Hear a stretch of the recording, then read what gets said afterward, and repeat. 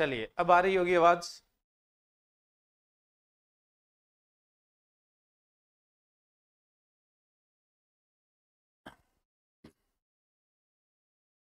Good evening भाई, नमस्कार, Ram Ram.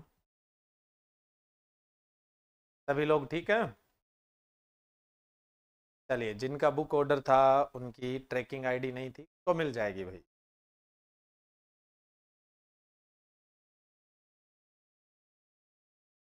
Good evening भाई गुड इवनिंग चलिए क्विज स्टार्ट करते हैं। आज तो स्पेशल हॉर्टिकल्चर की है, यानी अपने ही सब्जेक्ट की क्विज है। अपना बोले तो मेरा मास्टर का सब्जेक्ट है ना, उसकी क्विज है। चलिए, फटाफट लाइक और शेयर कर दीजिए।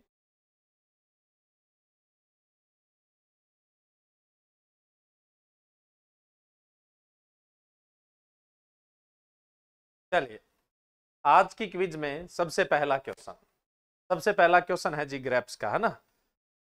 फ्रूट्स क्रॉप्स, यानी पोमोलॉजी की क्विज है। और स्पेशली अपने फ्रूट क्रॉप्स को टारगेट किया है, यानी जो फल वाली फ़सलें हैं, उनको ही टारगेट किया है। सबसे पहला क्वेश्चन है, प्रशिक्षण प्रशिक्षण बोले तो संधाई, है ना? संधाई की टेटुरा ट्रेलिस प्रणाली चालमर व वंदन यूडे द्वारा विकसित की गई थी, जो भारत में कहाँ से आई थी? Tatura trellis system of training, अंगूर का जो टेटुरा ट्रेलिस सिस्टम है वो कालमर और वेंडेन यूडे ने विकसित की थी, जो भारत में कहाँ से इंट्रोड्यूस हुई थी? टेट्रा ट्रेलिस देखो टेट्रा ट्रेलिस की क्या खास बात है? टेट्रा ट्रेलिस जो मेथड है, इसमें आप सबसे ज़्यादा पौधे लगा सकते हो। हाई डेंसिटी प्लांटिंग कर सकते हो, यानी एक हेक्टर में आप 2222 से लेकर चौवालीस चौवालीस पौधे लगा सकते हो। कितने पौधे लगा सकते हो? 2222 से लेकर चौवालीस चौवालीस। बाकी देखो, अंगूर की जो ट्रेनिंग की विधियाँ हैं, संधाई की विधियाँ हैं, उनमें कितने पौधे लगते हैं? 1111 प्रति हेक्टर पौधे लगते हैं। एक हेक्टर में 1111 पौधे लगते हैं। जितने भी ट्रेनिंग मेथड है, ज़्यादातर यही लगते हैं 1111 पौधे प्रति हेक्टर लेकिन अगर अपने टेटुरा ट्रेलिस मेथड काम में लेते हैं तो टेटुरा ट्रेलिस मेथड के अंदर आप क्या कर सकते हैं? एक हेक्टर में 2222 से लेकर चौवालीस चौवालीस पौधे लगा सकते हैं। इसमें अपने इसे वी शेप का ढांचा बनाते हैं। देखो, ये इस तरह से वी शेप का ढांचा है। और फिर हम इससे क्या करते हैं? इसे तारे खींच देते हैं। इसे दोनों तरफ़ तारे खींच देंगे। ठीक है? अब क्या करते हैं? जैसे मान लो कि हमने एक पौधा लगाया एक पौधे का एक केन इधर चढ़ा दिया, एक केन इधर चढ़ा दिया। तो एक तरफ़ से दो केन और दूसरी तरफ़ से दो केन। टोटल चार केन चढ़ा देते हैं। केन का मतलब समझते हो? जो पिछले सीज़न की ग्रोथ होती है, जो पिछले सीज़न की शाखा होती है ना, करंट सीज़न की शाखा अंगूर के अंदर जो करंट सीज़न की शाखा होती है, यानी वर्तमान सीज़न की शाखा होती है, उसको तो सूट या शाखा ही बोल देते हैं। और जो पिछले सीज़न की शाखा होती है, उसको अपने क्या बोल देते हैं? केन बोल देते हैं। तो टेटुरा ट्रेलिस में क्या होते हैं? पौधे नज़दीक नज़दीक लगते हैं, और नज़दीक नज़दीक लगने का कारण क्या होता है? क्योंकि देखो, ऐसा से बन गया तो पृष्ठीय क्षेत्र ज़्यादा बन जाएगा। आप पौधे को क्या कर सकते हैं? ज़्यादा फैला सकते हैं। ज़्यादा फैला सकते हैं तो इनको पास पास में लगा सकते हैं। पहली चीज़ तो आपके माइंड में ये होना चाहिए कि अंगूर का उत्पादन सबसे ज़्यादा संधाई पे निर्भर करता है और उसके बाद कांट छांट पे, यानी सबसे ज़्यादा ट्रेनिंग पर निर्भर करता है और उसके बाद दूसरा प्रूनिंग पे निर्भर करता है। आपसे पूछ ले कि अंगूर के अंदर उत्पादन सबसे ज़्यादा किस बात पर निर्भर करता है? अंगूर में सबसे ज़्यादा जो उत्पादन है वो किस बात पर निर्भर करता है? तो वो ट्रेनिंग और प्रूनिंग पे करता है। यानी सबसे ज़्यादा संधाई पे और उसके बाद किस पे करता है? प्रूनिंग पे। अब ट्रेनिंग पे सबसे ज़्यादा उत्पादन निर्भर क्यों करता है? क्योंकि आप जितना ज़्यादा बेल को फैलाएँगे, उतना ही ज़्यादा उत्पादन मिलेगा। और बेल को फैलाने के बाद प्रॉपर लाइट भी तो पड़नी चाहिए ना। प्रॉपर लाइट भी तो पड़नी चाहिए, तब फ्रूट की क्वालिटी आएगी। और थोड़े बहुत फ्रूट है, वो बेल से ढके हुए भी होने चाहिए, तब उनके अंदर सन बर्निंग नहीं होगी, यानी धूपदार नहीं होगा। तो ट्रेनिंग है, वो क्वालिटी और प्रोडक्शन दोनों के अंदर ही मैटर करता है। तो टेट्रा ट्रेलिस में सरफेस एरिया बहुत हो जाता है पृष्ठीय क्षेत्र क्या हो जाता है? बहुत ज़्यादा होता है, इसलिए आप इनको नज़दीक नज़दीक लगा सकते हैं। और टेटुरा ट्रेलिस के अंदर जनरली क्या है, जैसे ये वी से बना दिया, इसके बीच में आपने क्या कर दिया, ये तारें खींच दी, ठीक है? अब इधर भी आपने तारें खींच दी। अब यहाँ पे एक और इधर से ऐसे तारें खींच देते हो। अब यहाँ पौधा लगाते हो, एक एक केन इधर से चढ़ा देते हो, एक केन इधर से। तो एक तरफ़ से दो केन चढ़ जाएगी, दो केन उधर से चढ़ जाएगी। तो चार केन है, वो ट्रेंड किए जाते हैं। इसलिए टेटुरा ट्रेलिस मेथड को फोर केन मेथड भी बोलते हैं। क्या बोलते हैं? फोर केन मेथड भी बोला जाता है। देखो, मैंने कितने सारे आपको क्वेश्चन बताए हैं। अंगूर में पौधरोपण दूरी कितनी होती है? तीन इंटू तीन। अगर इस दूरी से पौधे लगाओगे तो 1111 पौधे लगेंगे। बाकी सभी ट्रेनिंग मेथड में 1111 पौधे लगते हैं। जो टेटूरा ट्रेलिस है, उसमें पौधे नज़दीक नज़दीक लगते हैं, जिससे 2222 से लेकर चुमालीस चुमालीस पौधे लगा सकते हैं। अगला क्वेश्चन ये है कि टेट्रा ट्रेलिस मेथड को और क्या बोलते हैं? फोर कैन मेथड बोलते हैं। अगला क्वेश्चन ये आता है कि ये किसने डेवलप किया था? तो कालमर और वेंडेन यूडे ने डेवलप किया था। कालमर और वेंडेन यूडे ने किया था। अगला क्वेश्चन आता है कि ये जो वी शेप का आप टेटूरा बनाते हो, इसका एंगल कोण कितना रखा जाता है? तो इसका कोण 60 डिग्री रखा जाता है। कितना रखा जाता है? 60 डिग्री रखा जाता है। ये ट्रेनिंग की महँगी विधि है, संदाई की महँगी है, महँगी पड़ती है भाई, लेकिन पौधे बहुत ज़्यादा लगते हैं, जिसकी वजह से उत्पादन भी सबसे ज़्यादा होता है। सबसे ज़्यादा प्रोडक्शन देने वाला मेथड कौन सा है? टेटूरा ट्रेलिस और आपसे क्वेश्चन ये पूछा गया था कि ये कौन से देश से भारत में आई थी? यानी भारत में कौन से देश से इंट्रोड्यूस हुई थी? न्यूजीलैंड से, ऑस्ट्रेलिया से, न्यूयॉर्क से या फ्रांस से? देखो, ये इंट्रोड्यूस हुई है ऑस्ट्रेलिया से। और ऑस्ट्रेलिया के दो साइंटिस्ट एक तो कालमर और दूसरा वेंडोन यूडे ने क्या किया? ट्रेलुरा टेटूरा ट्रेलिस मेथड को डेवलप किया था। ये महँगी ज़रूर है, इसमें हाई डेंसिटी प्लांटिंग पौधों की संख्या ज़्यादा लगा सकते हो, उत्पादन बहुत ज़्यादा होता है। इसमें वी शेप में ट्रेनिंग होती है। जो वी शेप का ढांचा बनता है, वो 60 डिग्री कोण पे बनता है और इसमें चार कोण चार केन को ट्रेंड किया जाता है, यानी चार पुरानी शाखाओं को ट्रेंड किया जाता है। इसलिए टेटुरा ट्रेलिस को आप फोर केन मेथड भी बोलते हैं। क्या बोलते हैं? फोर केन मेथड भी बोलते हैं। तो ये सारी चीज़ें याद रखना, टेटुरा ट्रेलिस बहुत इंपॉर्टेंट है। और अंगूर में दो क्वेश्चन और इंपॉर्टेंट मैं आपको बताऊँगा, जो आपके लिए बहुत ज़्यादा इंपॉर्टेंट है। बात करेंगे अपने। देखो, एक तो है, लिनकोन कैनोपी ट्रेनिंग मेथड है। लिनकोन कैनोपी ट्रेनिंग मेथड है। ये तो भारत में न्यूजीलैंड से आया है। टेटूरा ट्रेलिस की बात कर लिए, ऑस्ट्रेलिया से आया है। निफिन सिस्टम जो है निफिन सिस्टम वैसे अंगूर का उत्तरी भारत में ही फ़ेमस है। कोर्डन सिस्टम और निफिन सिस्टम कोर्डन और निफिन सिस्टम है, ये उत्तरी भारत में अंगूर की संधाई की विधि है। नॉर्थ इंडिया वाले ज़्यादातर या तो कोर्डन मेथड काम में लेते हैं या फिर कौन सा मेथड काम में लेते हैं? निफिन मेथड है, वो काम में लेते हैं। और निफिन मेथड कहाँ से आया? न्यूयॉर्क से आया है। एक स्पिंडल बुश है, ज़्यादा तो काम में नहीं लिया जाता, ये जर्मनी से आया हुआ है। और कोर्डन सिस्टम है कोर्डन सिस्टम भी मैंने कहा ना, नॉर्थ इंडिया में ही काम में लिया जाता है। कोर्डन सिस्टम है ये फ्रांस से आया तो कुछ ये ट्रेनिंग की विधियाँ हैं जो आपसे पूछी जा सकती है कि भारत में ये कहाँ से इंट्रोड्यूस हुई थी। इंडिया के अंदर कहाँ से इंट्रोड्यूस हुई थी। ठीक है? चलिए, अगले क्वेश्चन के लिए चलें अपने। हाँ एक चीज़ और मैं आपको बता रहा था कि अंगूर में ट्रेनिंग का ऐसा कौन सा ट्रेडिशनल मेथड है या ऐसा कौन सा मेथड है जिसका कॉस्ट बेनिफिट रेशियो सबसे ज़्यादा होता है? लागत लाभ जो सबसे ज़्यादा होता है वो किसका होता है? यानी लागत की तुलना में लाभ ज़्यादा होता है वो कौन सा मेथड है? यानी सबसे ज़्यादा उत्पादकता देने वाली विधि कौन सी है? देखो, टेटुरा ट्रेलिस तो एक बहुत खर्चीली विधि है, पैसा बहुत लगता है, उसके बावजूद क्या होता है? अपने को अच्छा मुनाफा मिलता है। लेकिन जो भी अपनी ट्रेडिशनल विधियाँ पारंपरिक विधियाँ अंगूर में संधाई की उनमें सबसे ज़्यादा मुनाफा देने वाली विधि कौन सी है? और ये क्वेश्चन बहुत सारे एग्ज़ाम में पूछा जाता है कि कौन सी विधि का कॉस्ट बेनिफिट रेशियो सबसे ज़्यादा है? यानी खर्च लाभ अनुपात है वो सबसे ज़्यादा किसका है? तो खर्च लाभ अनुपात सबसे ज़्यादा किसका होता है? बावर सिस्टम का यानी पंडाल विधि का होता है। बावर सिस्टम यानी पंडाल विधि। और भारत में बावर सिस्टम या पंडाल विधि कौन से हिस्से में काम में लेते हैं? दक्षिणी भारत में काम में लेते हैं। भारत में बावर यानी पंडाल विधि सबसे ज़्यादा प्रचलित कहाँ पे है? सबसे ज़्यादा जो प्रचलित है वो दक्षिणी भारत के अंदर है। उत्तरी भारत में अगर बात करें तो उत्तरी भारत में एक तो कोर्डन विधि है और दूसरी कौन सी है? निफिन विधि है, ये सबसे ज़्यादा पॉपुलर है। कोर्डन विधि और निफिन विधि है, यही सबसे ज़्यादा भारत के अंदर क्या है? पॉपुलर है, अच्छे से ध्यान रखना। और ये जो पंडाल वाला क्वेश्चन है ना, ये पंडाल वाला क्वेश्चन तो बहुत बार पूछा गया है। राजस्थान डब्ल्यू में भी पूछा गया है। उसके अलावा और भी जो सेंट्रल लेवल के एग्ज़ाम है, उनके अंदर भी ये जनरली क्या है, पूछा जाता है। तो इस चीज़ का तो आपको विशेष ध्यान रखना ही रखना है। ठीक है? चलिए, अपने नेक्स्ट क्वेश्चन के लिए बात करें तो नेक्स्ट क्वेश्चन है आपका एल्केलॉइड्स इन फ्रूट्स फलों में कौन कौन से एल्केलॉइड्स है? मैचिंग है, मिलान करना है आपको। कौन से फल में कौन सा एल्केलॉइड्स पाया जाता है? बस इस चीज़ का आपको क्या करना है? मिलान करना है। सबसे पहले तो जामुन के अंदर कौन सा एल्केलॉइड्स है? मार्मेलोसिन है। या निरंजीन है, या जम्बोलिन्स है, या रेनिन्स है, या कार्पिन्स है। बताइए, जामुन में कौन सा एल्केलॉइड है? जामुन में कौन सा एल्केलॉइड्स है वो पाया जाता है? जामुन के अंदर देखो, जेम्बोलिन्स पाया जाता है। कौन सा पाया जाता है? जेम्बोलिन्स। और ये जेम्बोलिन्स की वजह से ही डायबिटीज़ के लिए गुणकारी होता है। जो मधुमेह रोगी होते हैं, उनके लिए गुणकारी होता है। जेम्बोलिन्स क्या करता है? जेम्बोलिन्स डायबिटीज़ का लेवल कम करता है। जेम्बोलिन डायबिटीज़ का लेवल कम करता है। मधुमेह का, जिसको आप शुगर भी बोलते हैं, कारण, क्योंकि जो आप खाना खाते हैं, उसके स्टार्च को वो ग्लूकोज में नहीं बदलने देगा। स्टार्च को ग्लूकोज में नहीं बदलने देगा और जब रक्त ग्लूकोज नहीं बनेगा ज़्यादा तो रक्त में ग्लूकोज का लेवल बढ़ेगा नहीं। अपने आप ही क्या हो जाएगा? शुगर का लेवल डायबिटीज़ का लेवल क्या हो जाता है? कम हो जाता है। ये किसका काम है? जेम्बोलिन का काम है। ठीक है? ये फल में भी होता है, लेकिन सबसे ज़्यादा गुठली में होता है। जेम्बोलिन सबसे ज़्यादा जामुन की गुठली में होता है, ध्यान रखिएगा। जेम्बोलिन पूछ ले कौन से भाग में सबसे ज़्यादा होता है तो गुठली के अंदर सबसे ज़्यादा होता है।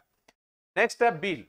बील के अंदर कौन सा होता है भाई? बील जो बेल पत्थर जिसको बोल देते हैं, और गर्मियों में इसका जूस पीने से ठंडा इफ़ेक्ट देता है। पीना चाहिए, है ना? गर्मियों में इसका जूस पीने से कैसा प्रभाव देता है? ठंडा प्रभाव देता है कूलिंग इफ़ेक्ट देता है। ये इसकी मेडिसिनल वैल्यू है। तो बील के अंदर कौन सा एल्केलॉइड्स पाया जाता है? बताओ भाई, बील के अंदर कौन सा एल्केलॉइड्स पाया जाता है? बील के अंदर बताओ कौन सा एल्केलॉइड्स पाया जाता है? मार्मेलोसिन। इसका नाम ही क्या है? एगल मार्मोलस है तो मार्मेलोसिन पाया जाता है। कौन सा पाया जाता है? मार्मेलोसिन। और ये बॉडी पे कूलिंग इफ़ेक्ट देता है। कैसा इफ़ेक्ट देता है? कूलिंग इफ़ेक्ट है, वो देता है। पपीता। पपीता में कौन सा एल्केलॉइड्स होता है? पपीता में कौन सा एल्केलॉइड्स देखने को मिलता है? पपीता के अंदर कार्पाइन देखने को मिलता है। कौन सा कार्पाइन है वो देखने को मिलता है? ये बॉडी पे बहुत ही वार्म इफ़ेक्ट दिखाता है, गर्म प्रभाव दिखाता है। जो कार्पाइन होता है, पपीता में ये देखने को मिलता है और कार्पाइन सबसे ज़्यादा आपको किसमें देखने को मिलता है? सीड में देखने को मिलता है, बीज के अंदर देखने को मिलता है। फिग अंजीर के अंदर कौन सा देखने को मिलता है? रेनिन देखने को मिलता है। अंजीर के अंदर कौन सा देखने को मिलता है? रेनिन देखने को मिलता है। अंजीर के अंदर रेनिन एल्केलॉइड्स है, वो पाया जाता है, बिल्कुल इसके सामने वाला ही पाया जाता है। जो स्किन डिज़ीज़ होते हैं, त्वचा से संबंधित रोग होते हैं, उनके उपचार के लिए बहुत बढ़िया होता है। त्वचा के उपचार के लिए बहुत ही शानदार होता है। उसके अलावा हम बात करें ग्रेप फ्रूट जिसको चकोत्रा बोलते हो, एक नींबू वर्गीय फल है। कौन सा? नींबू वर्गीय फल है। इसमें निरंजीन पाया जाता है। कौन सा पाया जाता है? निरंजीन पाया जाता है ग्रेप फ्रूट चकोत्रा में। बाकी भी सीट्रस में देखने को मिलता है, लेकिन सबसे ज़्यादा चकोत्रा में देखने को मिलता है, और ये मलेरिया के लिए गुणकारी होता है। मलेरिया रोगी के लिए गुणकारी होता है। मलेरिया का लेवल क्या करता है? कम लेके जाता है। ठीक है? अच्छे से याद कर लीजिएगा, जो इंपोर्टेंट एल्केलॉइड्स है। ठीक है? चलिए नेक्स्ट अगला क्वेश्चन है, आम की कौन सी जाति में सर्वाधिक उबेलिंगी फूल होते हैं? सबसे पहले तो आम के अंदर किस प्रकार का पुष्पन देखने को मिलता है? किस प्रकार का सेक्स एक्सप्रेशन देखने को मिलता है? आम में क्या होता है? कुछ फूल होते हैं, वो तो बाइसेक्सुअल होते हैं, यानी द्विलिंगी फूल होते हैं, जिसमें नर व मादा दोनों उपस्थित होते हैं। इसमें तो कोई सोचने वाली बात नहीं है। और दूसरे जो फूल होते हैं, वो मेल होते हैं। तो आम में एक ही पौधे पर नर पुष्प और द्विलिंगी पुष्प देखने को मिल जाएगा। नर पुष्प भी देखने को मिल जाएगा और द्विलिंगी पुष्प है, वो भी देखने को मिल जाता है। ठीक है? तो इसको बोलते हैं एंड्रोमोनोसियस क्या बोलते हैं इसको हम? एंड्रोमोनोसियस एंड्रोमोनोसियस तो आम में आपसे पुष्पन पूछ ले तो आप कैसा पुष्पन बताओगे? एंड्रोमोनोसियस। कौन सा बताओगे? एंड्रोमोनोसियस बताओगे। आम में पुष्पन पूछ ले तो कैसा बताओगे? आप एंड्रोमोनोसियस बताओगे। मोनो शब्द आ जाए, इसका मतलब एक ही फल वृक्ष की बात हो रही है। मोनो शब्द आ जाए तो एक ही फल वृक्ष की बात हो रही है, ठीक है? तो एंड्रोमोनोसिस प्रकार का पुष्पन देखने को मिलता है। ए ऑप्शन है वेल कोलाइम देखो वेल कोलाइम हाँ एक चीज़ और बता देता हूँ। कि देखो, आम में उबेलिंगी फूल ज़्यादा होंगे या बाइसेक्सुअल फ्लावर्स ज़्यादा होंगे, उतना ही फलन ज़्यादा होगा। ये मेल किस काम का? कोई काम का नहीं है भाई। मेल सिर्फ़ डोनर होते हैं। तो ये फीमेल तो अपने मेल से क्या हो जाएगी? निषेचित हो जाएगी। इस मेल का कोई मतलब नहीं है, इस नर का कोई मतलब नहीं है। जितने ज़्यादा उभयलिंगी फूल होंगे, जितने ज़्यादा उभयलिंगी फूल होते हैं, उतना ही उत्पादन ज़्यादा होगा, फलन ज़्यादा होगा, उतना ही प्रोडक्शन वैसे ही आम में बहुत प्रकार की समस्याएँ हैं। हज़ार फूल लगते हैं, वहाँ पे एक ही फल बनाने में सक्षम हो पाता है। हज़ार फूल लगते हैं, वहाँ पे एक ही फल बनाने में सक्षम हो जाता है। यानी फूल से फल बनने का जो रेशियो है, वो 0.1 परसेंट ये कितना है? 0.1 परसेंट ये फूल से फल बनने का। तो बड़ी समस्या है। एक तो यही समस्या एंड्रोमोनोसिस दूसरा फूल व फल झड़ने की समस्या है। दूसरा फूल व फल झड़ने की समस्या है। तीसरा, इसमें ये प्रॉब्लम है कि जनरली क्या है, जो आम है, उसमें प्रागण घरेलू मक्खी से होता है, मस्का डोमेस्टिक जो हाउस फ्लाई होती है। और ये घर पे तो खूब होती है, ज़रूरत होती है, इसकी बाग में वहाँ ये मिलती नहीं है तो उसकी वजह से भी फलन कम हो जाता है। तो यहाँ फलन कम होने के कई सारे कारण होते हैं। तो उभयलिंगी फूल ज़्यादा होने के अंदर फ़ायदा होता है। तो ए ऑप्शन है वेल कोलाइमन तो एक ऑक्टाप्लॉइड मैंगो अष्टगुणित आम है। कैसा आम है भाई? अष्टगुणित आम है। वैसे तो आम टेट्राप्लॉइड है, चार गुणित है, चार गुणित गुणसूत्र संख्या चालीस होती है, इसमें कितनी होती है, अस्सी होती है। ये रूट स्टॉक के रूप में काम में लेते हैं मूल व्रंत के रूप में काम में लेते हैं, और किस प्रकार का मूल व्रंत है? बोने प्रकार का मूल व्रंत होता है। बोना मूल व्रंत होता है, ये जो वेल कोलाइम बना है, ठीक है? और भी ये बोने मूल व्रंत है ना, लेकिन ये काफ़ी पॉपुलर है। लंगड़ा है, लंगड़ा लंगड़ा क्यों है भाई? अंग भंग है इसका मतलब अंग टूटा हुआ है। इसमें क्या है? बाइसेक्सुअल फ्लावर तो बहुत है, उभयलिंगी फूल तो बहुत है 68.9 परसेंट है। कितना है? अड़सठ प्रतिशत है, खूब है ये। लेकिन झड़ जाते हैं, इसमें फूल व फल जड़ने की समस्या बहुत है। लंगड़ा में फूल व फल जड़ने की समस्या बहुत ज़्यादा है। नो डाउट उबेलिंगी फूल अच्छे हैं, संख्या बढ़िया है, ये अड़सठ पॉइंट नौ कम नहीं है, बहुत अच्छी है। लेकिन झड़ बहुत जाते हैं। इसमें फूल व फल जड़ने की समस्या बहुत है। तो आपसे पूछ ले कि फूल व फल जड़ने की समस्या आम की कौन सी किस्म में सबसे ज़्यादा है? तो लंगड़ा में नाम इसीलिए तो पड़ा है इसका लंगड़ा, नहीं तो लंगड़ा पड़ता ही नहीं। चौसा तो आप जानते हो सबसे मीठा है और सबसे पछेता है। चौसा सबसे मीठा है और सबसे पछेता है। ये लंगड़ा और चौसा, ये उत्तरी भारत की तो किस्में है। शाही सुगंधा शाही सुगंधा, साई का तोता केसर खाता है। साई का तोता केसर खाता है। साई का तोता केसर खाता है। साई का तोता केसर खाता है।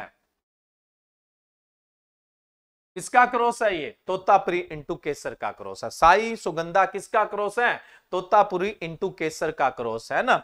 और इसमें उभयलिंगी पुष्प सबसे ज़्यादा होते हैं। कितने होते हैं? पचहत्तर प्रतिशत होते इसमें सबसे ज़्यादा उभयलिंगी पुष्प होते हैं कितने? पचहत्तर प्रतिशत। और दूसरे नंबर पे किसका होता है? दूसरे नंबर पे लंगड़ा में होते हैं। दूसरे नंबर में किसमें होते हैं? लंगड़ा के अंदर होते हैं। सबसे ज़्यादा उभयलिंगी पुष्प या द्विलिंगी पुष्प है, वो किसमें देखने को मिलेंगे? आपको साई सुगंधा में और दूसरे नंबर पे लंगड़ा में। तो इस क्वेश्चन का राइट आंसर तो क्या हो जाएगा? डी ऑप्शन है, वो आपका राइट हो जाएगा। डी ऑप्शन है, वो आपका राइट हो जाएगा। आपस में डिस्कस करोगे तो रिमूव कर दिए जाएँगे आप, है ना? इसलिए आपस में डिस्कस मत किया करो। ठीक है, ये नहीं पूछा जाएगा भी क्यों कर दिए जाएँगे। यहाँ पे आपको सिर्फ़ क्वेश्चन देखने हैं, उनका आंसर देना है और उनका एक्सप्लेनेशन सुनना है, ठीक है?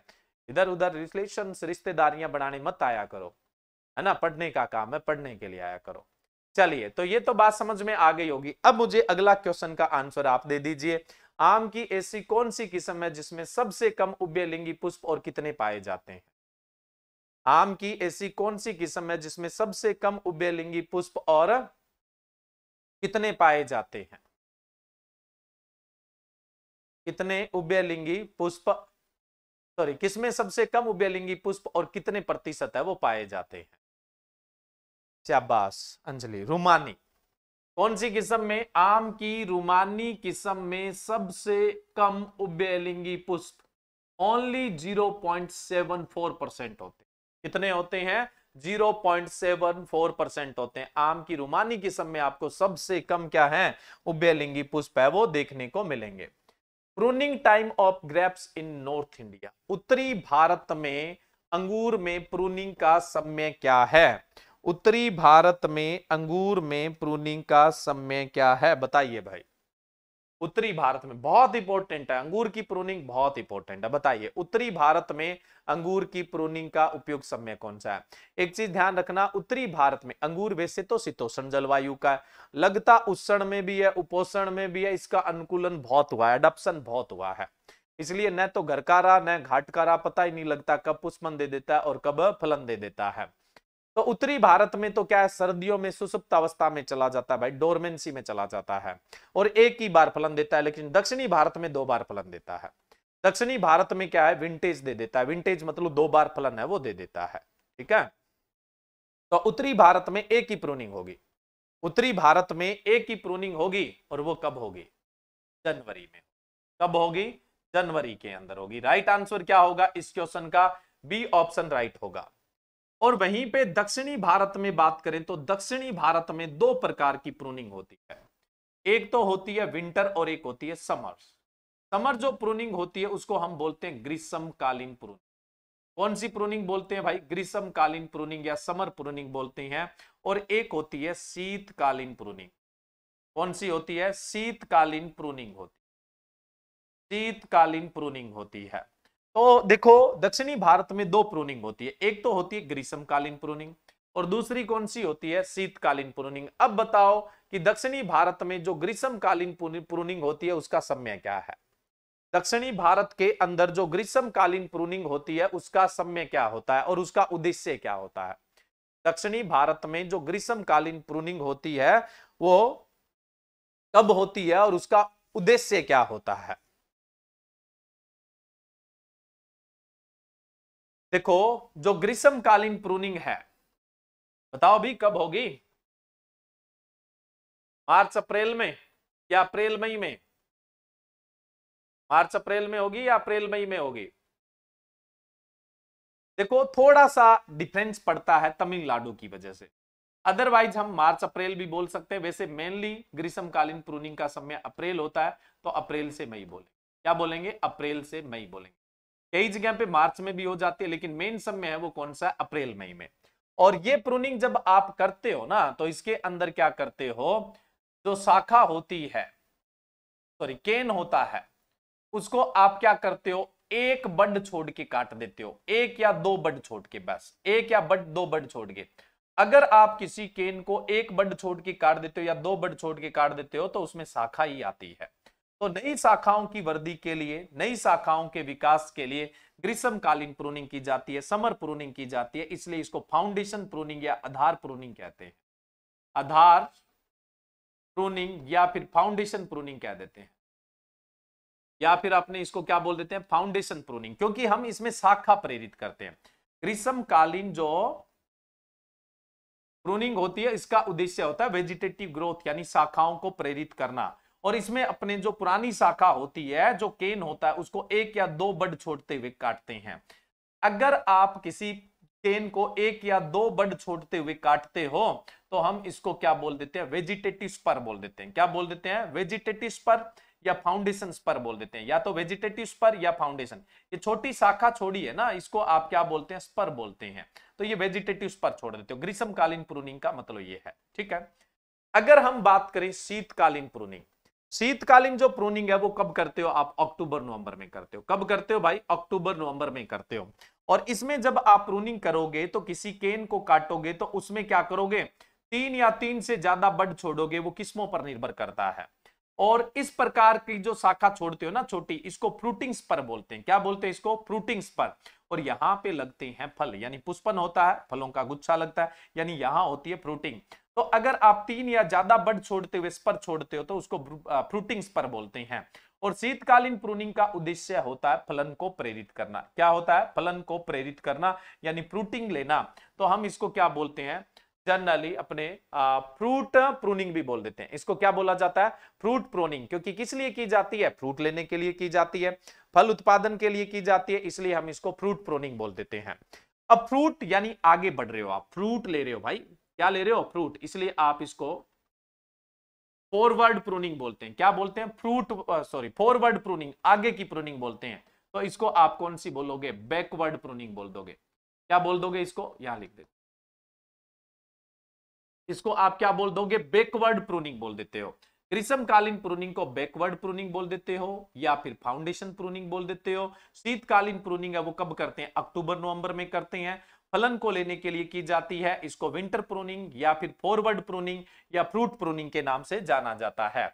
तो पूछा तो उत्तरी भारत में था, वो जनवरी में करते हैं। दक्षिणी भारत में दो होती है, एक समर होती है। अप्रैल, मई में उसका उद्देश्य होता है नई शाखाओं का विकास करना, जिसे आप फाउंडेशन प्रूनिंग या फिर बैकवर्ड प्रूनिंग बोल देते हैं। एक फलन के उद्देश्य से अक्टूबर, नवंबर में करते हैं, उसको शीतकालीन प्रूनिंग यानी विंटर प्रूनिंग जिसको आप फॉरवर्ड प्रूनिंग कहते हो, और इसका उद्देश्य होता है फलन को लेना। अच्छे से ध्यान रख लीजिएगा। नेक्स्ट अगला क्वेश्चन है spongy tissue disorder discovered by spongy उत्तक विकार किसके द्वारा खोजा गया था? पहली बात तो ये बात हो रही है किसकी मैंगो की, आम की हो रही है। आम का जो स्पॉन्जी टिश्यू है, आम का जो स्पॉन्जी टिश्यू होता है, उत्तक से जो होता है, ये निर्यात के अंदर सबसे बड़ी समस्या है। आम का स्पॉन्जी टिश्यू जो है, वो निर्यात के अंदर सबसे बड़ी समस्या है। देखो, निर्यात के लिए जो सबसे बेस्ट वेराइटी है, वो कौन सी है? अल्फांजो है। अल्फांजो को आप क्या बोलते हो? किंग ऑफ़ मैंगो बोलते हो। अल्फांजो को क्या बोलते हो? किंग ऑफ़ मैंगो बोला जाता है। और एक्सपोर्ट के लिए सबसे बढ़िया वेराइटी कौन सी है? जी, अल्फांजो। सबसे बढ़िया वेराइटी अल्फांजो। और अल्फांजो में सबसे ज़्यादा स्पॉन्जी टिश्यू होता है। अल्फांजो में सबसे ज़्यादा स्पॉन्जी टिश्यू होता है। ठीक है? और अल्फांजो में सबसे ज़्यादा स्पॉन्जी टिश्यू यानी सेंसिटिव है ये। दिशा, ये रेसिस्टेंट नहीं है, ये सेंसिटिव है। सबसे ज़्यादा स्पॉन्जी टिश्यू अल्फांजो में होता है और सबसे ज़्यादा निर्यात वाली वेराइटी भी कौन सी है? अल्फांजो और निर्यात के लिए सबसे सुटेबल भी कौन सी है? अल्फांजो है। निर्यात के लिए सबसे सुटेबल भी कौन सी है? अल्फांजो होती है और अल्फांजो को आप किंग ऑफ़ मैंगो बोलते हो। मैंगो आम खुद है, वो तो फलों का राजा है ही किंग ऑफ़ फ्रूट है। लेकिन मैंगो में किंग कौन है? अल्फांजो है। और निर्यात में दूसरे नंबर की वेराइटी कौन सी है भाई? केसर है, जिसको क्वीन ऑफ़ मैंगो बोलते हैं। दूसरी वेराइटी कौन सी है? केसर। और केसर को आप क्या बोलते हो? क्वीन ऑफ़ मैंगो के नाम से भी जानते हो। क्वीन ऑफ़ मैंगो के नाम से भी जानते हो। आम की रानी भी बोलते हो। अल्फांजो में सबसे बड़ी समस्या है भाई स्पॉन्जी टिश्यू फ्री कौन सी है? स्पॉन्जी टिश्यू जिसमें होता ही नहीं, रत्ना में नहीं होता है। इसमें नहीं होता, रत्ना के अंदर स्पॉन्जी टिश्यू होता ही नहीं। और जिस वेराइटी के आगे अर्का लग गया, चाहे वो अर्का पुनित है, अर्का नीलकिरण है, कोई सी भी है, अर्का वाली वेराइटियों में स्पॉन्जी टिश्यू नहीं होता है। अर्का वाली वेराइटियों के अंदर स्पॉन्जी टिश्यू नहीं होता है, रत्ना में भी स्पॉन्जी टिश्यू नहीं होता ध्यान रखिएगा। और स्पॉन्जी टिश्यू किसने खोजा था? पहला ऑप्शन है वुड हाउस ने 1909 में। नहीं भाई वुड हाउस ने तो ब्लैक टिप खोजा था। है ना? वुड हाउस ने तो ब्लैक टिप खोजा था। कैसे याद रहेगा? वुड के जलने से धुआँ निकलता है और ब्लैक टिप धुएँ से ही होता है है ना? वुड के जलने से धुआँ निकलता है और धुएँ से ही ब्लैक टिप होता है। तो वुड हाउस ने क्या खोजा था भाई? ब्लैक टिप खोजा था, काला धब्बा रोग खोजा था। याद रह जाएगा? काला धब्बा रोग खोजा था। दूसरे भाई साहब है चीमा। चीमा तो बहुत खतरनाक आदमी है। खतरनाक बोले तो बढ़िया वाले खतरनाक है ना? आप वो मत सोचना, फटने वाले खतरनाक है। तो चीमा जी जो है ना जीएस चीमा इन्होंने अमरूद की सबसे फ़ेमस वेराइटी में से एक सबसे फ़ेमस तो इलाहाबाद सफेदा है। उसके बाद दूसरे नंबर की एल फोर्टी नाइन लखनऊ उनचास। लखनऊ उनचास किसने विकसित की थी? डॉक्टर जीएस चीमा ने। जीएस चीमा गंदा सिंह चीमा है ना? तो डॉक्टर जीएस चीमा ने क्या किया? आ, अमरूद की एक तो जो एल फोर्टी नाइन जिसको आप सरदार बोलते हैं या लखनऊ उनचास बोलते हैं वो वेराइटी डेवलप की थी। अमरूद की नेशनल वेराइटी कहलाती है वो। एल फोर्टी नाइन या लखनऊ उनचास है, वो अमरूद की नेशनल वेराइटी कहलाती है, राष्ट्रीय किस्म कहलाती है। दूसरी, इन्होंने अनार की गणेश वेराइटी खोज डाली। और गणेश को अनार की नेशनल वेराइटी कहते हैं। अनार की नेशनल वेराइटी कौन सी है? पोम ग्रेनेट की नेशनल वेराइटी कौन सी है? अनार की राष्ट्रीय किस्म कौन सी है? गणेश, और वो भी किसने खोजी थी? जीएस सीमा जी ने। बहुत सारे काम किए जीएस सीमा जी ने। वहीं पे जीएस सीमा जी ने धानी के साथ मिलकर स्पोन्जी टिश्यू को उन्नीस में रिपोर्ट किया था। तो इसका राइट आंसर क्या होगा? बी ऑप्शन है वो आपका राइट होगा। बी ऑप्शन है वो आपका राइट होगा। नेक्स्ट है मेरिस। मेरिस ने अठारह के अंदर बिहार के अंदर malformation all for mason गुच्छा मुच्छा रोग है, वो खोजा था विकार है, ये सारे के सारे विकार, है ना? गुच्छा मुच्छा विकार खोजा था कहाँ पे? बिहार के अंदर खोजा था नेक्स्ट है के एम थॉमस और सी एस कृष्णा स्वामी ये भी भाई पैथोलॉजी पे फ्रूट पैथोलॉजी पे बहुत काम कर चुके हैं। इनके द्वारा खोजे गए दो इंपोर्टेंट डिज़ीज़ एक तो जो बैंगन का लिटिल लीप है ब्रिंजल का लिटिल लीप है, बैंगन का लिटिल लीप है। देखो, बाकी सभी पौधों में लिटिल लिप होता है, जिंक की कमी से। बाकी सभी पौधों में जो लिटिल लिप है, छोटी पत्ती विकार है, वो होता है जिंक की कमी से। सिट्रस में नींबू वर्गीय के अंदर होता है जिंक और कॉपर दोनों की कमी से। वहीं पे बैंगन में होता है एम्बेलोज की वजह से माइकोप्लाज्मा या फाइटोप्लाज्मा की वजह से। और फैलता किससे लीफ होपर से फैलता है, पत्ती के फुदके से फैलता है, जिसको आप क्या बोल देते हैं? जेसिड भी बोल देते हैं, उसके द्वारा फैलते हैं। तो बैंगन का जो लिटिल लीफ है ब्रिंजल का जो लिटिल लीफ है, बैंगन का छोटा पत्ती विकार, वो किसने खोजा था? के एम थॉम्स और सी एस कृष्णा स्वामी ने और इन्होंने ही पपीता का लीप करल वायरस खोजा था। इन्होंने ही पपीता का लीप करल वायरस रोग है, वो खोजा था। इन्होंने ही पपीता का लीप करल वायरस रोग है, वो खोजा था, लीप करल डिज़ीज़। अब पपाया का जो लीप करल डिज़ीज़ है, पत्ती मोड़क विकार है, वो वायरल डिज़ीज़ है, और किससे फैलता है? वो फैलता है व्हाइट फ्लाई से स्पेद मक्खी से फैलता है। बेमेसाई टेबेसाई से फैलता है, व्हाइट फ्लाई से स्पेद मक्खी से फैलता है। क्लियर है भाई? चलिए। देखो आनिंद अगर ये हेलो हाई करोगे तो रिमूव हो जाओगे, कुछ नहीं पढ़ा। पढ़ लो बेटा, है ना? अभी पढ़ने की उम्र है।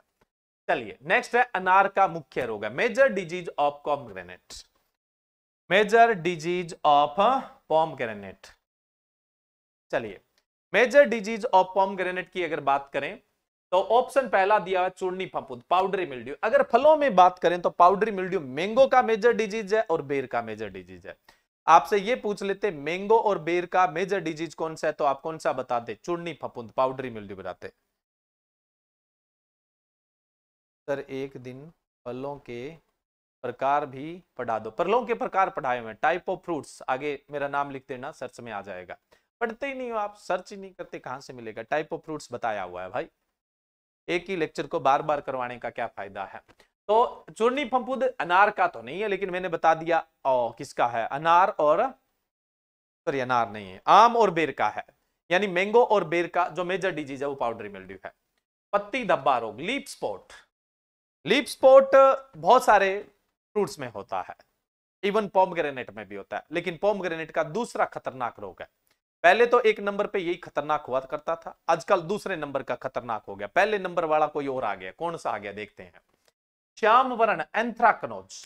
श्याम वर्ण एंथ्राकनोज है, ये मैंगो में खूब नुकसान पहुंचाता है अमरूद में। लेकिन मैंगो का मेजर कौन सा है? पाउडरी मिल्ड्यू चूर्णी पंपुद है। और जो गुआवा है, अमरूद है, इसमें भी खूब नुकसान पहुंचाता है। लेकिन उसका मेजर विल्ट है, यानी जो, जिसको आप उकट्ठा रोग बोलते हैं, जो फ्यूजेरियम बड़ा है तो वो अमरूद का तो मुख्य कौन सा है? उखट्ठा है।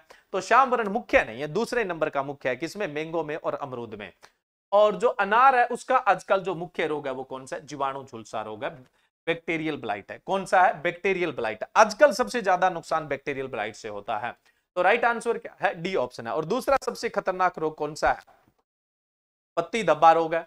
पत्ती धब्बा रोग कई बार पूछ लिया जाता है। कारण? क्योंकि ये कॉम्प्लेक्स डिज़ीज़ है। कॉम्प्लेक्स डिज़ीज़ का मतलब होता है ऐसा रोग जो एक से ज़्यादा रोग कारकों से होता है। कई जो रोग कारक होते हैं, उनसे होता है, उसको हम क्या बोल देते हैं? कॉम्प्लेक्स डिज़ीज़ बोल देते हैं। तो लीप स्पॉट पत्ती धब्बा रोग है, ये किससे होता है? जेंथोमोनास। जेंथोमोनास प्यूनिके तो बैक्टीरिया है और कोलेटोट्राइकम, गोलियोस्पोइरडस, ये फंगस है। इन दोनों के कारण होता है लीप स्पॉट यानी पत्ती धब्बा रोग। कौन सा भाई? पत्ती धब्बा रोग है।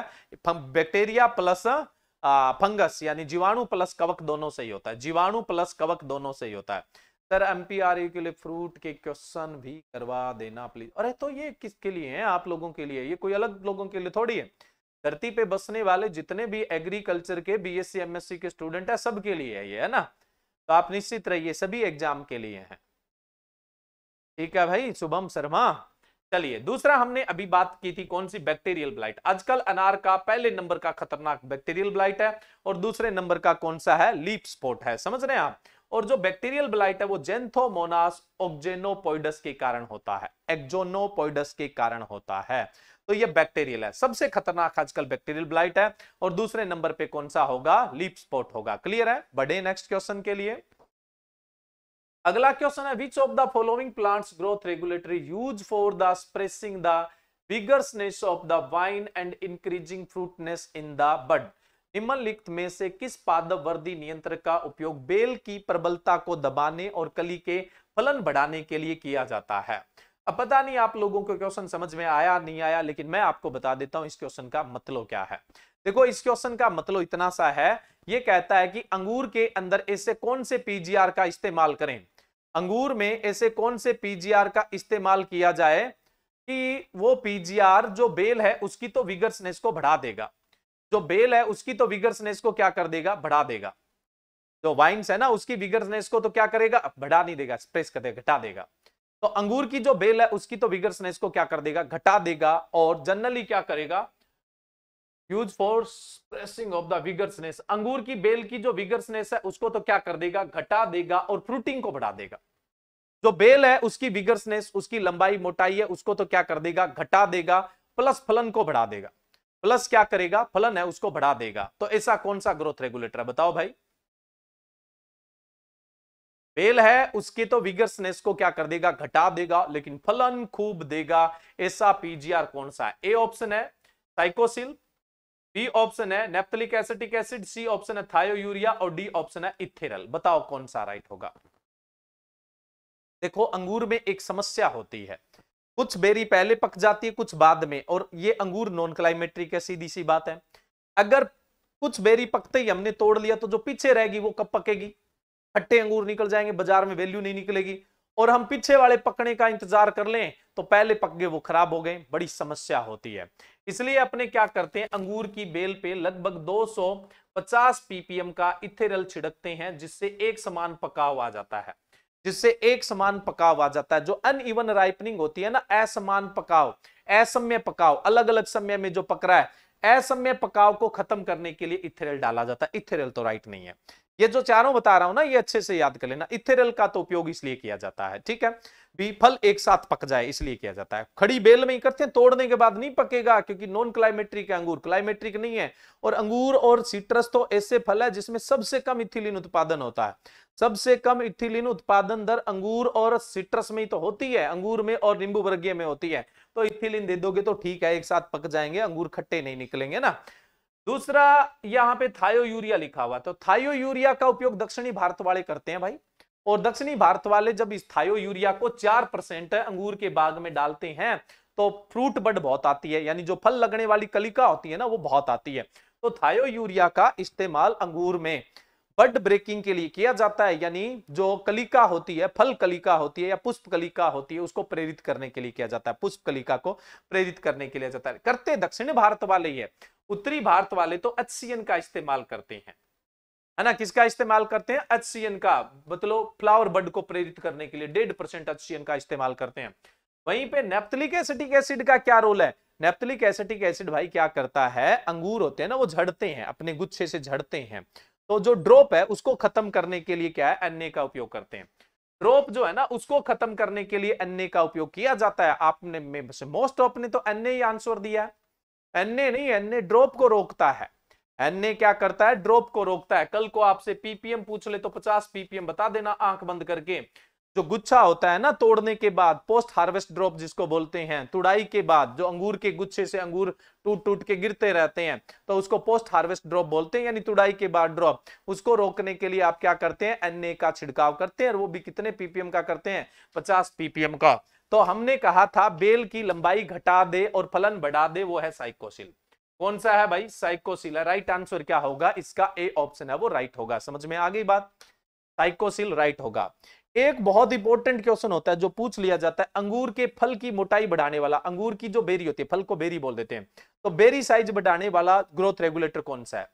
अंगूर की बेरी साइज़ को बढ़ाने वाला ग्रोथ रेगुलेटर कौन सा है? अंगूर की बेरी का साइज़ बढ़ाने वाला ग्रोथ रेगुलेटर कौन सा है?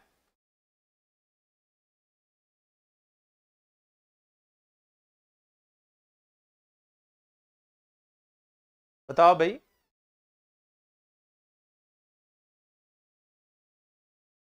जीए थ्री कौन सा है? जीए थ्री और जीए थ्री का कितने पीपीएम का काम उपयोग करते हो? जनरली तीस से पचास पीपीएम वैसे पचास ही मान के चलो सीधा। कितने पीपीएम का उपयोग करते हो? लगभग 50 पीपीएम का इस्तेमाल करते हो।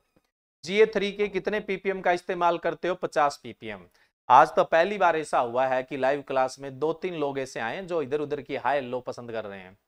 अरे भाई, ये चैनल उचित नहीं है आप लोगों के लिए। यहाँ पे ठीक नहीं रहेगा। आप कहीं और देखिए, पढ़ना है तो रुकिए मोस्ट वेलकम है। है ना? पढ़ने पे ध्यान दोगे तो हाई एल्लो लोग ही आपसे चला के कर लेंगे। नहीं तो लोग घुसने तक नहीं देंगे घर में, है ना? दूर से देखते ही मुँह घुमा लेंगे, भाई ये कौन आ गया? हाई हेलो करते रह जाओगे ज़िंदगी में, भाई कोई तो हाई हेलो कर लो, कोई तो हाई हेलो कर लो। अब लड़कियाँ ढूंढ रहे हो, बाद में बंदे भी नहीं करेंगे आपको हाई हेलो अगर यही हाल रहे तो। पढ़ लिया करो, उसी में फ़ायदा है। चलिए तो यहाँ पे राइट आंसर क्या होगा? ए ऑप्शन है, वो राइट होगा। पढ़ने के टाइम तो पढ़ लिया करो, देवताओं। कोई बात नहीं, पूरी दुनिया पढ़ी है। घूमते रहो कहीं। राइट आंसर क्या है? ए ऑप्शन है, वो इसका राइट है। पीजीआर जो ग्रेप्स में काम में लिए जाते हैं, वो मैंने आपको बता दिए। पीजीआर जो ग्रेप्स में काम में लिए जाते हैं, वो मैंने आपको बता दिए। चलिए नेक्स्ट अपने बात करें। Meadow orchard system is a new concept ऐसा लिखना था। A new concept of guava planting which has been develop for the first time in India meadow orchard system अमरूद के रोपण की एक नई अवधारणा है जिसे भारत में पहली बार विकसित किया गया था। मतलब इसे भारत में कहाँ पर उपयोग में लिया गया था? विकसित तो नहीं बोलना चाहिए। यूज़ बोलना चाहिए। इंडिया में सबसे पहले इसे यूज़ कहाँ किया गया था? उपयोग कहाँ किया गया था? जो मिडो ऑर्चार्ड सिस्टम है, ये मिडो ऑर्चार्ड सिस्टम है, ये क्या है? हाई डेंसिटी हाई डेंसिटी क्या अल्ट्रा हाई डेंसिटी प्लांटिंग का मेथड है? यानी बहुत ज़्यादा सघनता से पौधे लगाने का सिस्टम है। जिसमें बहुत कम पौधरोपण दूरी रखी जाती है और प्रति हेक्टर बहुत ज़्यादा पौधे लगाए जाते हैं। उसको मिडो ऑर्चार्ड सिस्टम कहते हैं। ये मिडो ऑर्चार्ड सिस्टम यूरोप में, इंग्लैंड में लगभग 1960 के दशक में विकसित हुआ था। इंग्लैंड में यूरोप के अंदर 1960 के अंदर लगभग विकसित हुआ था और इसको सबसे पहले इस्तेमाल किया गया था एप्पल में किया गया था, सेब में। बहुत ज़्यादा डेंसिटी के साथ, बहुत ज़्यादा सघनता के साथ फल वृक्ष लगाने की विधि है। और कहाँ विकसित किया गया था? इंग्लैंड, यूरोप में उन्नीस सॉरी, अठारह के दशक में और सेब में सबसे पहले अपनाया गया था। और भारत के अंदर इसे सबसे पहले अपनाया गया था C I S Central Institute of Subtropical Horticulture केंद्रीय उपोषण बागवानी संस्थान, लखनऊ, उत्तर प्रदेश में। कहाँ पे अभी ये? लखनऊ, उत्तर प्रदेश में है। लखनऊ, उत्तर प्रदेश के अंदर है सीआईएसएस यहाँ पे सबसे पहले अपनाया गया था। किसमें अपनाया गया था? अमरूद के अंदर, ग्वावा के अंदर अपनाया गया था। और किसने अपनाया था? गोरख सिंह जी ने अपनाया था। किसने? गोरख सिंह जी ने इसे अपनाया था। तो इंडिया के अंदर मिडो ऑर्चार्ड सिस्टम सबसे पहले सीआईएसएच लखनऊ, उत्तर प्रदेश में, गोवा में, अमरूद में गोरख सिंह जी के द्वारा अपनाया गया था, जिसमें पौधरोपण दूरी दो इंटू एक मीटर रखी गई। अमरूद में ज़्यादातर प्रचलित पौधरोपण दूरी तो छह इंटू छह मीटर है, वैसे छह से आठ इंटू छह से आठ मीटर की पौधरोपण दूरी होती है। लेकिन जब मिडो ऑर्चार्ड अपनाया गया तो इसमें दो इंटू एक मीटर की दूरी अपनाई गई और दो इंटू एक मीटर की दूरी से एक हेक्टर में पाँच हज़ार पौधे लगते हैं, पाँच हज़ार फल वृक्ष लगते हैं। अब सोचो, अमरूद का अगर हम सामान्य बाग लगाते हैं, छह इंटू छह मीटर की दूरी पे तो कितने पौधे लगेंगे? देख लेते हैं अपने कितने लगेंगे। लगभग दो सौ छियासठ पौधे लगते हैं। कितने पौधे लगते हैं? लगभग दो सौ छियासठ पौधे लगते हैं। इतने ही लगते हैं क्या? दो सौ छियासठ पौधों के आसपास लगते हैं। नहीं, गलत कर दिया मैंने। दो आएगा भाई, दो आएगा। कितना आएगा? दो कितने पौधे लगते हैं? सामान्य दो लेकिन मिडो ऑर्चार्ड सिस्टम है, उसमें कितने पौधे लगते हैं? पाँच हज़ार पौधे लगते हैं। मिडो ऑर्चार्ड में कितने पौधे लगते हैं? पाँच हज़ार पौधे लगते हैं। और ये मेथड इंडिया में किसने अपनाया था? गोरख सिंह जी ने अपनाया था। किसमें? अमरूद में। कहाँ पे? सीआईएसएस लखनऊ के अंदर। आईआईएचआर तो जानते हो ना Indian Institute of Horticulture Research भारतीय बागवानी अनुसंधान संस्थान कहाँ पे है? सरगट्टा बेंगलोर में है। आईआरआई भारतीय कृषि अनुसंधान संस्थान इंडियन एग्रीकल्चर रिसर्च इंस्टीट्यूट नई दिल्ली, पुस्सा, नई दिल्ली में। CIH Central Institute of Arid Horticulture केंद्रीय शुष्क बागवानी संस्थान, बीकानेर, राजस्थान के अंदर। लेकिन जो मिड्डो अपनाया गया था, वो कहाँ अपनाया गया था? लखनऊ, उत्तर प्रदेश के अंदर अपनाया गया था। लखनऊ, उत्तर प्रदेश के अंदर अपनाया गया था। क्लियर है स्टूडेंट चलिए, बढ़े नेक्स्ट क्वेश्चन के लिए। अगला क्वेश्चन है Maru Samridhi is a variety of Maru Samridhi किसकी किस्म है? अब मरु शब्द आ गया तो समझ लो, राजस्थान से विकसित है। और राजस्थान में भी कहाँ से विकसित है? सी आई ए एच से विकसित है। Central Institute of Arid Horticulture Bikaner से विकसित है। ये किसकी किस्म है?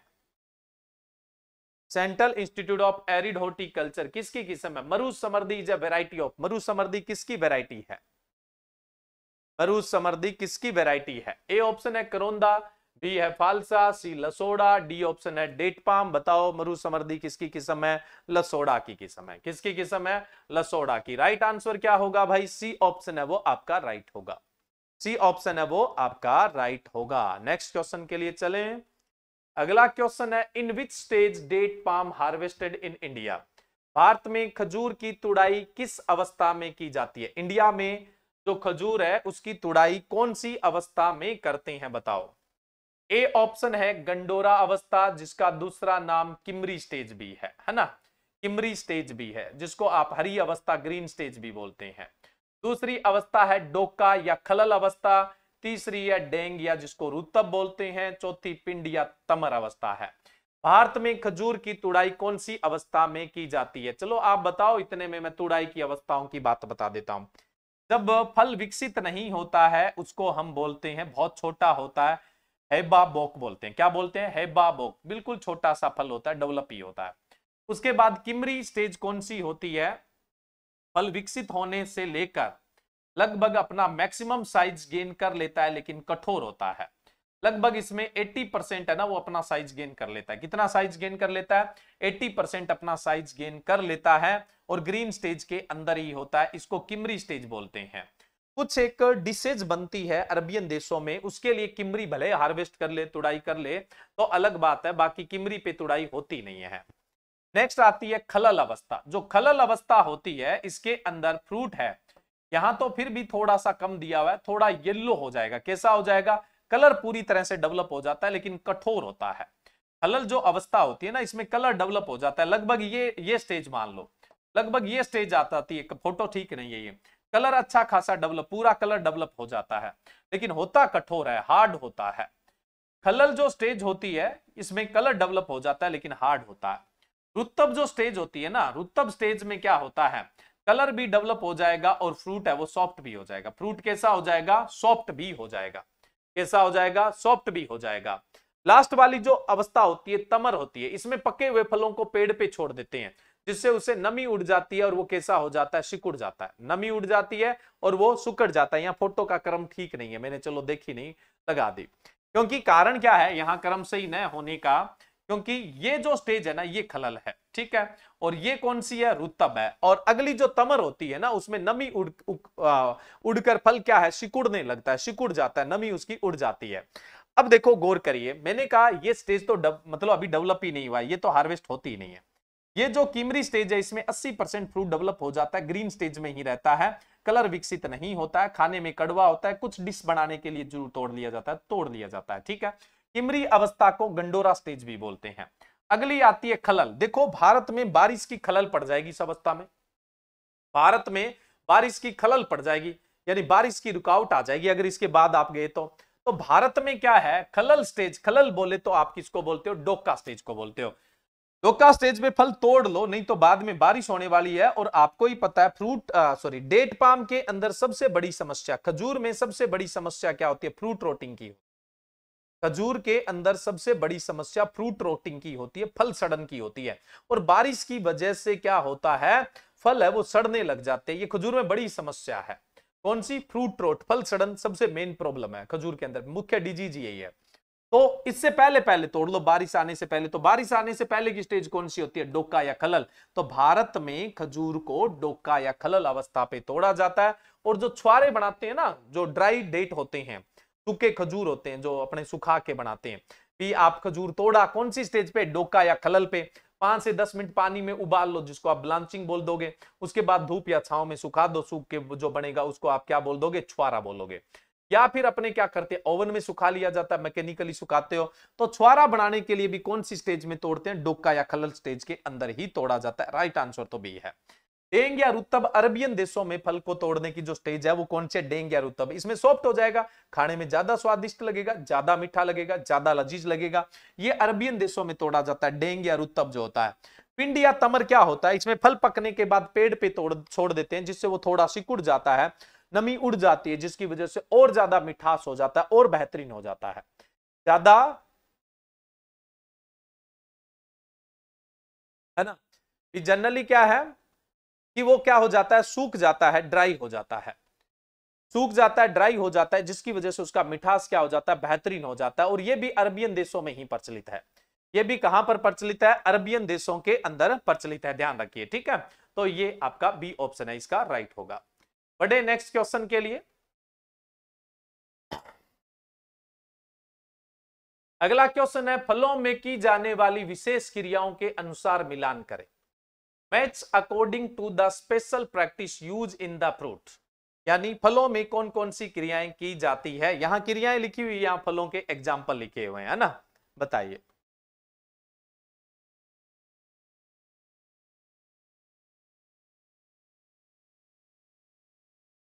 नमस्कार भाई नमस्कार।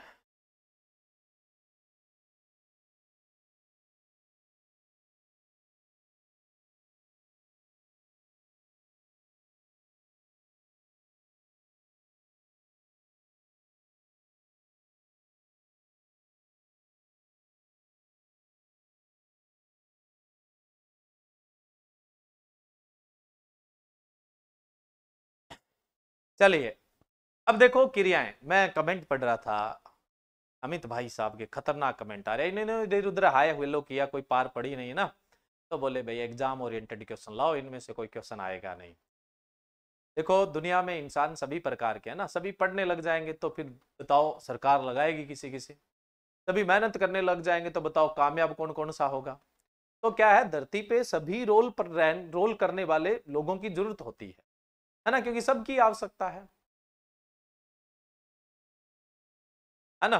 तो सभी तरह के लोगों की आवश्यकता कई मस्ती करने वालों की, कई आवारा घूमने वालों की, कई भीख मांगने वालों की, कई लेबर करने वालों की, कई बिजनेसमैन की डॉक्टर की सबकी आवश्यकता होती है। इंसान अपने अपने हिसाब से अपना अपना रोल प्ले करता रहता है।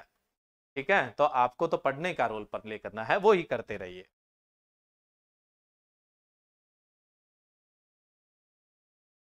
ठीक है? आपको अमित जी को कुछ कहने की ज़रूरत नहीं है, वो बस रिमूव हो चुके हैं, अब नहीं आएँगे। है ना?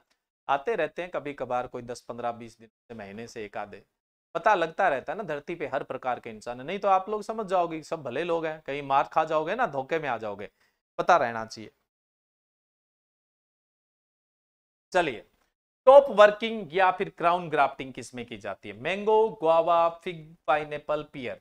भाई, ये तो मैंगो में ही करते हैं। किसमें करते हैं? मैंगो में आम में करते हैं। पुराने फल वृक्षों में सुधार के लिए, जो फल बूढ़े हो चुके हैं, फल वृक्ष बूढ़े हो चुके हैं, उनका रिजविनेशन करने के लिए, उनका नवीनीकरण करने के लिए टॉप वर्किंग की जाती है। दूसरा है कैप्रिफिकेशन बताओ कैप्रिफिकेशन किसमें करते हैं भाई? अंजीर में करते हैं। किसमें करते हैं? अंजीर में। कैप्रिफिकेशन क्या होता है? जो व्यावसायिक अंजीर होती है कमर्शियल जो फिग होती है, उसमें पोलन नहीं बनते हैं। तो हम क्या करते हैं? पोलन है वो जंगली अंजीर से ले आते हैं। जो वाइल्ड फिग होते हैं, उसके पोलन लाकर, जो कल्टीवेटेड फिग है, उस पर डाल देते हैं। यानी जो जंगली अंजीर के पोलन है, वो हम व्यवसायिक अंजीर पे डाल देते हैं। अब जो जंगली अंजीर है ना वाइल्ड जो फिग है, उसको हम कैप्री फिग बोलते हैं। क्या बोलते हैं भाई? उसको कैप्री फिग बोलते हैं। और जो कैप्री फिग से पोलन लाके कल्टीवेटेड फिग पे डाले, उसे कैप्रीफिकेशन बोलते हैं। उसको हम क्या बोलते हैं? कैप्रीफिकेशन कहते हैं। क्या बोलते हैं इसको अपने? कैप्रीफिकेशन कहते हैं। नेक्स्ट है रेटोनिंग बताओ रेटोनिंग किसमें लेते हैं? रेटोनिंग क्या होता है? पिछली फ़सल है।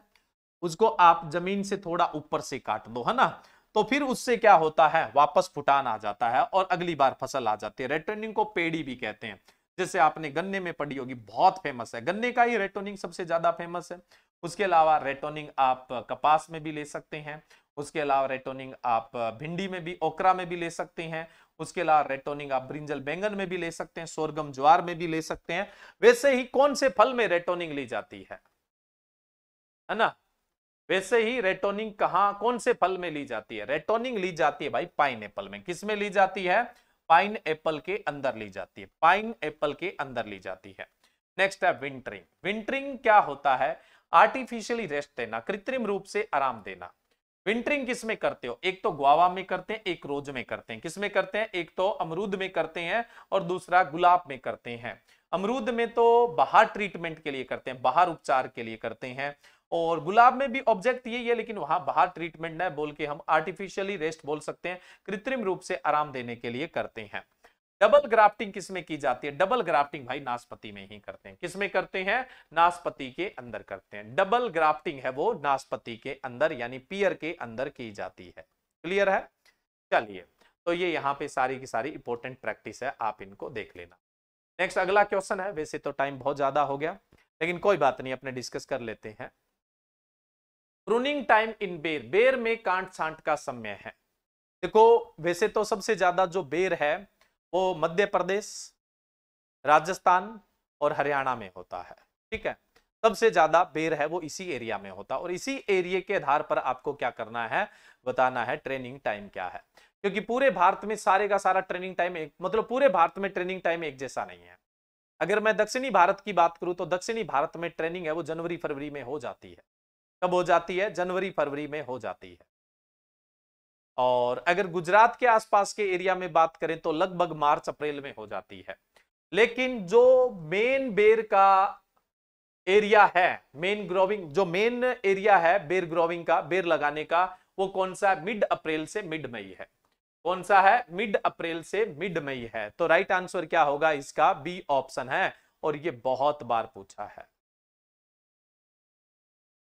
ये बहुत बार पूछा गया। बेर की प्रूनिंग बहुत इंपॉर्टेंट है, अंगूर की प्रूनिंग बहुत इंपॉर्टेंट है, और गुलाब की प्रूनिंग है वो भी बहुत इंपॉर्टेंट है, यानी जो रोज है उसकी प्रूनिंग भी बहुत इंपॉर्टेंट है। चलिए नेक्स्ट अपने बात करें, निम्न में से मानव निर्मित फल है। Which is man made fruit मानव निर्मित फल कौन सा है? मतलब जो प्रकृति में नहीं था, मानव ने बनाया है। जो प्रकृति में नहीं था, मानव ने बनाया है। यानी मैन मेड फ्रूट है वो किसे कहा जाता है? ए ऑप्शन है किन्नू बी ऑप्शन है स्ट्रॉबेरी सी ऑप्शन है एटमोया। एटमोया को लक्ष्मण फल बोलते हैं और डी ऑप्शन है ऑल ऑफ़ दिस बताओ राइट आंसर क्या होगा? मेन मेड फ्रूट यानी मानव निर्मित फल। यानी जो मानव का बनाया हुआ है, पहले से नहीं था, प्रकृति में नहीं था। चलिए। मेन मेड फ्रूट की बात करें तो मेन मेड फ्रूट तो वैसे तीनों ही है। किन्नो है स्ट्रॉबेरी है एटमोया है। ये तीनों के तीनों ही फ्रूट है, वो कौन से है? मेन मेड है। तो राइट आंसर क्या होगा? यहाँ पे डी ऑप्शन है, वो राइट होगा। डी ऑप्शन है, वो राइट होगा। ठीक है?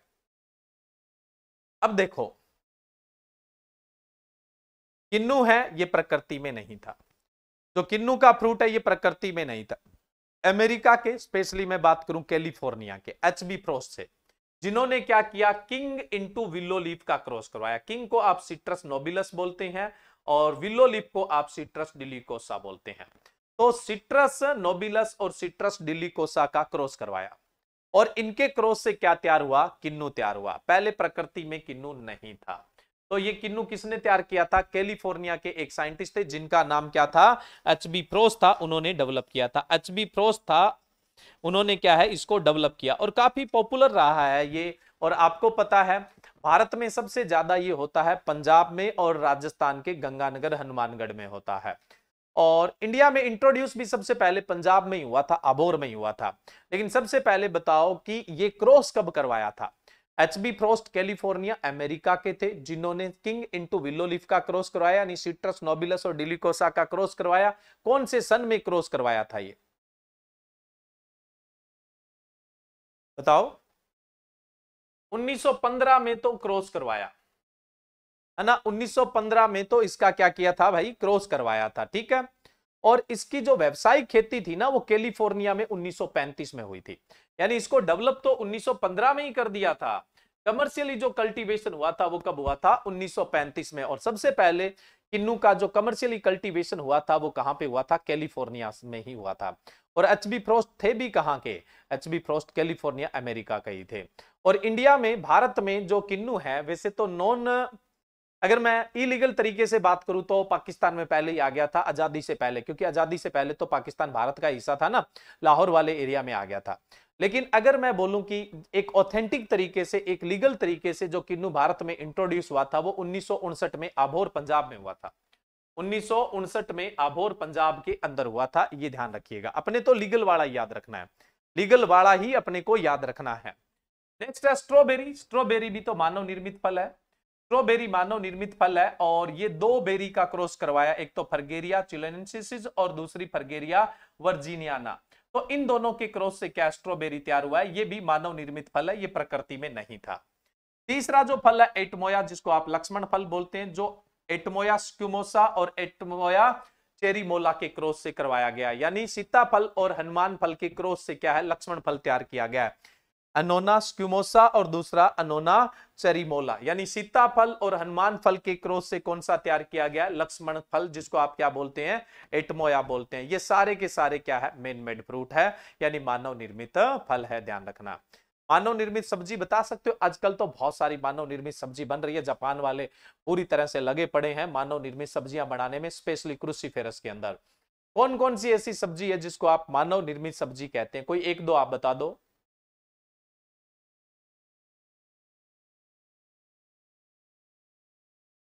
रुता बागा बिल्कुल ठीक है। और रुता बागा को कौन से वर्ष का फल कहते हैं?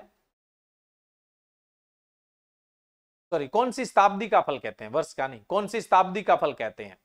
रुता सब्ज़ी कहते हैं। रुता बागा सब्ज़ी की बात हो रही है रुता बागा को कौन सी शताब्दी की सब्ज़ी कहते हैं? रुता बागा को। इक्कीसवीं।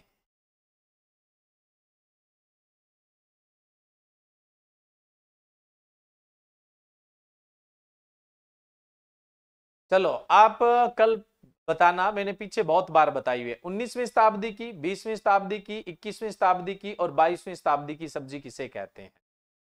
क्योंकि आपका आंसर ठीक नहीं आ रहा है। राहुल मीणा कौन सा कोर्स है? बताओ भाई, कोई नहीं चेक करवा देंगे। कल आप बताओगे 19वीं शताब्दी की 20वीं शताब्दी की 21वीं शताब्दी की और 22वीं शताब्दी की सब्ज़ी किसे कहते हैं? क्योंकि आप लोगों का मोस्ट ऑफ़ का आंसर गलत आया इसमें। और आपको करवाया। वोटरमेलन तो ठीक है, बाईसवीं शताब्दी का है, जमती है बात। लेकिन रुत्ता बागा वाले से मैं संतुष्ट नहीं हूँ आपके। और पहले बताया हुआ है करवाया हुआ है नहीं तो कल वेजिटेबल की क्विज आएगी उसमें तो क्वेश्चन आना ही आना है। लेकिन कम से कम आप तो देख के आओ। बिल्कुल चल रहे हैं हार्दिक चौधरी, बहुत सारे चल रहे हैं ना? आपके आने की कमी है। चलो एक क्वेश्चन और कर लेते हैं, वैसे तो टाइम बहुत हो गया। Which one is suitable for papain production papain उत्पादन के लिए कौन सा जो किस्म है वो उपयुक्त है। कौन सी किस्म है वो उपयुक्त है? एक्सप्लेन नहीं करूँगा मैं अब, बस आपको फटाफट आंसर बता देता हूँ। बाकी नेक्स्ट कल डिस्कस करेंगे। देखो पुस्सा जाइंट। पुस्सा जाइंट तो जनरली जो टूटी फ्रूटी होती है ना, जिसको आप जो मैंगो सेक पपाया सेक में डालते हैं, लोग उसको चेरी बोलते हैं। चेरी नहीं होती है वो। वो क्या होता है? टूटी फ्रूटी होती है। और टूटी फ्रूटी किसका प्रकार होता है? कैंडी का। टूटी फ्रूटी किसका प्रकार होता है? कैंडी का प्रकार होता है। आपसे पूछ ले, टूटी फ्रूटी में कितने डिग्री ब्रिक्स शुगर होता है? 75 डिग्री ब्रिक्स होता है। टूटी फ्रूटी सबसे बढ़िया पुस्सा जाइंट की बनती है। टूटी फ्रूटी, जिसको आप बोल देते हैं ना तो ये कैंडी का प्रकार होता है, टूटी फ्रूटी होता है और इसका पचहत्तर डिग्री ब्रिक्स है, वो टीएसएस होता है। ये क्वेश्चन इंपॉर्टेंट है, ये पूछे जा सकते हैं आप लोगों से। सीओ सेवन छोड़ो सीओ फोर छोड़ो और सीओ फाइव है। ये पपेन निकालने के लिए सबसे बढ़िया है। और इसके बाद दूसरे नंबर पे पुसा मैजेस्टी है। दूसरे नंबर पे कौन सी है? पुसा मैजेस्टी है और पहले नंबर पे सीओ फाइव है कोयम्बतूर जो फाइव है, वो पपेन प्रोडक्शन के लिए क्या है? सबसे बेहतरीन है। ठीक है? आज के लिए बस इतना ही। क्वेश्चन तो आपके कई सारे बच गए थे, लेकिन ये डिस्कशन कभी आगे हो जाएगा।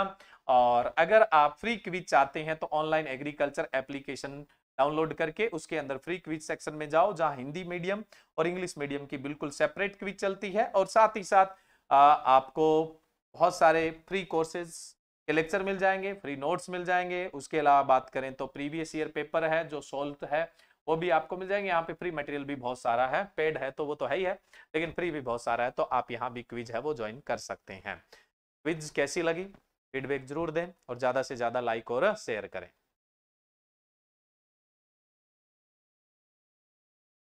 हाँ बिल्कुल भी हार्दिक चौधरी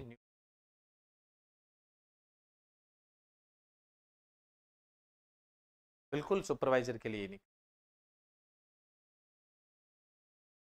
करवाएँगे भाई एस के एन